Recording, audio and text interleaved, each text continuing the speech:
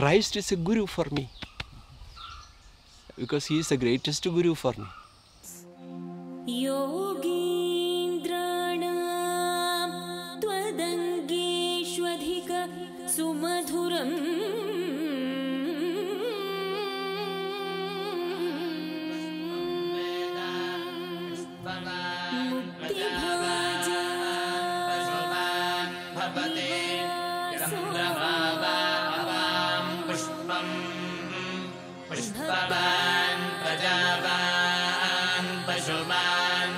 भवति य एवं वेद योपामायतनं वेद आयतनवान् भवति अग्निर्वा अपामायतनम् आयतनवान् भवति योऽग्निर् Les ashrams chrétiens m'ont toujours fasciné. J'ai toujours trouvé là une forme de richesse assez étonnante pour le christianisme. En faisant des recherches, j'ai découvert que Shantivanam avait été fondé par deux Français et j'étais complètement ébloui par à la fois leur ouverture d'esprit, cette idée d'aller en Inde et de rencontrer l'hindouisme de manière positive, sans le diaboliser du tout, et en plus, c'était d'entrer dans cette expérience. Donc non pas rester au niveau des idées, au niveau intellectuel, et puis des systèmes philosophiques, et puis qu'est-ce que c'est que le non-dualisme, et puis comment on pourrait le rendre compatible avec euh, la Trinité ou avec euh, la Christologie et tout ça. Non, on entre dans une expérience, et cette expérience euh, se révèle être complètement fascinante et éblouissante encore une fois puisque c'est des contrées complètement euh, infinies, inexplorées qui s'ouvrent à nous en tant que chrétiens quand on ose entrer sans fermer la porte derrière. Il ne s'agit pas de dire adieu au christianisme. Au contraire, c'est en tant que chrétien comment je peux rencontrer mes frères hindous.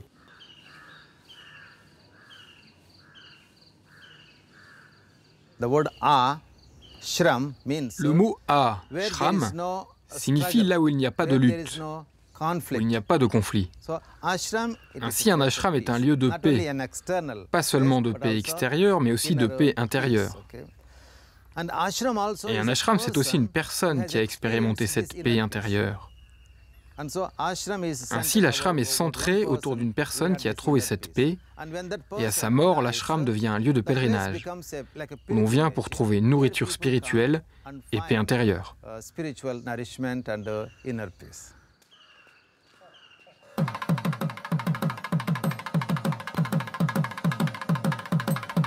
Août 1948, Don Henri Le Sceau quitte à jamais sa Bretagne natale et 19 ans de cloître bénédictin avec le rêve d'établir une vie monastique en Inde. Il y rejoint le père lyonnais Jules Monchanin, arrivé dix ans plus tôt. Et le 21 mars 1950, les deux hommes inaugurent l'ashram du Sakshidananda, connu aussi sous le nom de Shantivanam, le petit bois de la paix. À l'abri de simples huttes, les deux pionniers mèneront désormais une vie inspirée par la tradition des sannyasines, les moines indiens, de la robe orange, étude des Upanishads, louanges sanskrites. Et si l'aventure se révèle difficile, elle donnera pourtant l'élan à un mouvement qui aujourd'hui compte près de 80 structures. Après le décès de Monchanin, Henri Le Sceau, devenu Swami Abhishektananda, se sent de plus en plus attiré par les Himalayas. C'est ainsi qu'en 1968, il confie définitivement le Satchidananda au bénédictin anglais Bede Griffiths. Avec Father Bede, l'ashram se popularise. Voyageurs occidentaux et populations locales se retrouvent en nombre dans le petit bois de la paix. Jules Monchanin et Henri Le Sceau ont fondé l'ashram en 1950 et ils l'ont appelé Satchitananda Ashram, qui est le nom de Dieu. Sat, c'est l'être, l'origine de tout. Chit, c'est la conscience, et Ananda, la béatitude. Existence, conscience, béatitude. Pour les hindous, l'ultime réalité, c'est la réalité totale, l'existence totale et la conscience totale, qui communiquent la totale félicité. Et ils l'ont relié à la Sainte Trinité chrétienne. Le Père est la source de tout, l'origine de l'existence, l'ultime. Le Fils est la sagesse du Père, autorévélation de l'expression du Père, la conscience de l'un le Saint-Esprit et la félicité de l'amour, l'ananda qui émane de cette communion entre existence et connaissance. C'est vraiment une conception magnifique.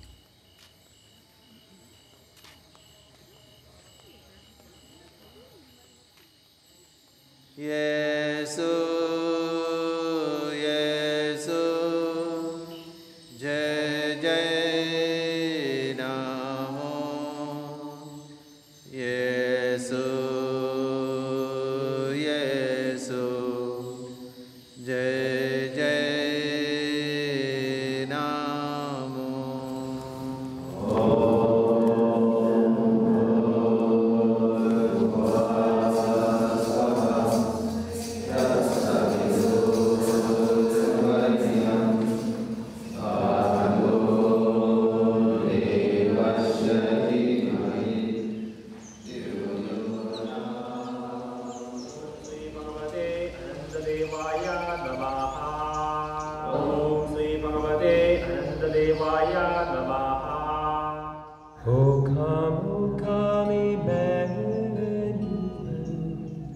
And ransom captive Israel that mourns in lonely exile. Until the Son of God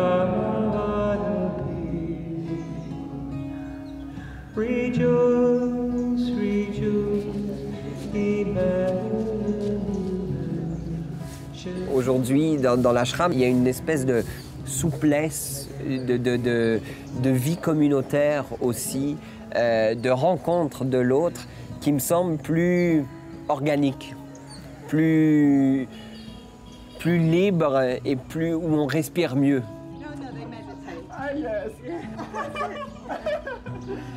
On a nos repas ensemble, on a une possibilité de dialogue, on marche pieds nus, on s'assoit par terre. Il y a moins de formalisme au final.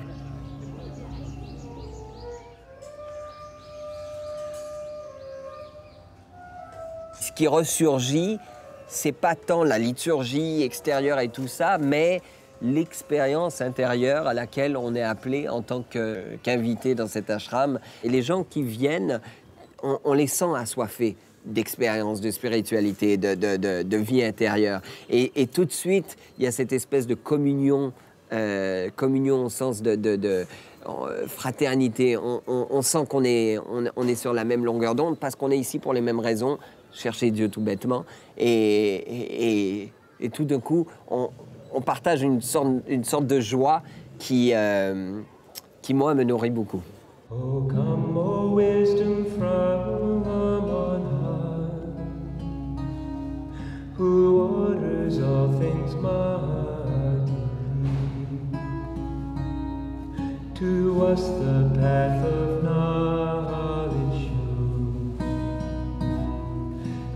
teach us in her ways to go. Rejoice, rejoice, Emmanuel shall come to you,